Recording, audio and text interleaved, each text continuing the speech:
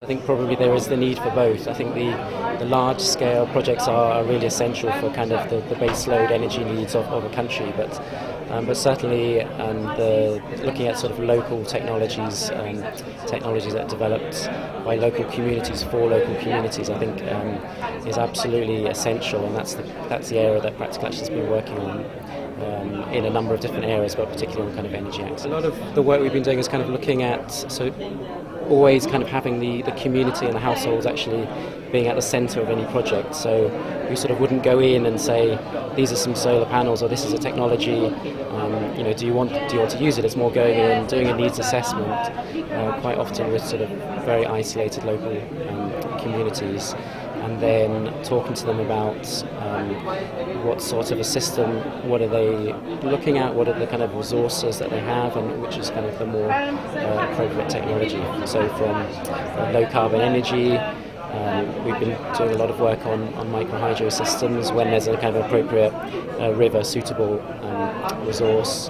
Uh, we're working on um, stoves on, on bioenergy, so that's for cooking, but potentially also for lighting and sort of new, more uh, cleaner technologies, but also technologies that are very appropriate to the cooking habits and the using the local fuels. Um, so we've been looking at uh, wood fuel, but also charcoal, which is quite often used, quite often not very um, efficiently used. So it's kind of looking at the efficiency side. Uh, then we're kind of looking at uh, new fuels like ethanol from sugarcane, which is locally produced but quite often just uh, a waste product. What do people use energy for? Um, and you know, I said it's of breaking that down. So obviously there's heat for cooking, which is um, for poor people. That's a very high, I mean, it's sort of estimated to be kind of 80% of their traditional energy use um, because quite often they, they just don't have um, energy supply for anything else.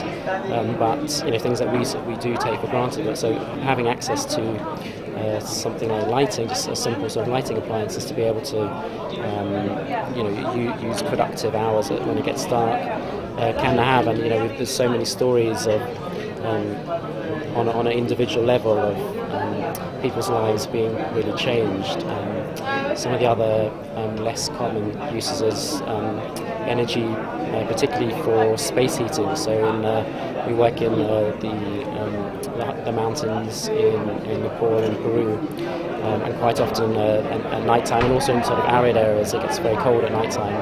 Um, and just being able to use kind of the biomass, uh, but in a very clean and healthy way, rather than lighting a fire, which is then you know just sleeping in the same place where there's uh, smoke, which causes all sorts of diseases. So having um, heating in a, in a very efficient um, and low emission stove is also uh, extremely important. Um, some, of, some of the other um, ways are sort of around communications and uh, mobile phones. Um, you know, kind of taken developing world by storm, but actually being able to for people to be able to charge their phones, you know, that becomes really essential, and, and you know, very very simple um, solar systems to, to, to, enable people to be able to do that. Some of the other things I think is um, kind of just sort of entertainment purposes, really. Some of the micro hydro schemes that we've um, developed enable um, small businesses to set up. So one of the, the most um, common thing is, is ladies will set up a hair salon to be able to kind of, uh, you know, for people to, rather than having to go kind of several hours into the city to be able to get their hair done, and you know that, that's a real kind of community um, engagement and something that's really nice within the community, or you know maybe um, refrigerating drinks, and then other kind of more practical and important things like um, healthcare. So being able to um, keep the vaccines cool for in, a, in a, maybe a rural health clinic, um, and then other sort of area might be uh, refrigerating food, which otherwise would go off